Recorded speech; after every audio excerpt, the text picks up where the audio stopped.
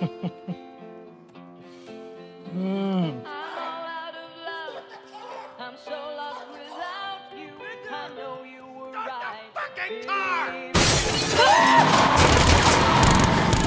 oh, I shit my pants. Actually, that may have been me. Oh, you're living the dreams, DP. Yeah. Devil may care attitude. Strong thighs. Beautiful girlfriend. Sorry I'm late. I was rounding up all the gluten in the world and launching into space where it can't not hurt us ever again. Kiss me like you miss me, Red.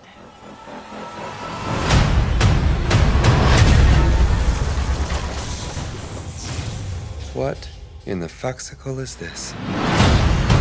My name's Cable. I'm here for the kid. What? The kid? Move or die.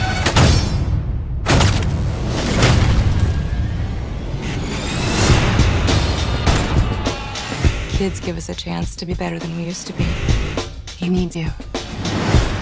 You're a lot smarter than I look. I ain't letting Cable kill this kid. But I can't do this alone. Can you speak up? It's hard to hear you with that pity dick in your mouth. We're gonna form a super duper fucking group.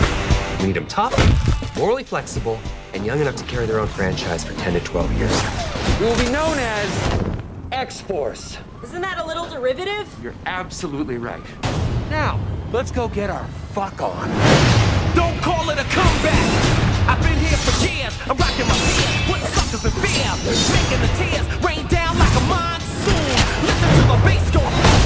Tell me they got that in slow motion. I'm gonna knock you out. Doing the right thing is messy. But if you want to fight for what's right, sometimes you have to fight dirty. And that is why Sisterhood of the Traveling Pants is pure pornography. Oh, God, I wish I finished college. It lives up to the hype, plus plus. Fuck it, they probably won't even make a three. Yeah, why would they? Stop it too. You killed it.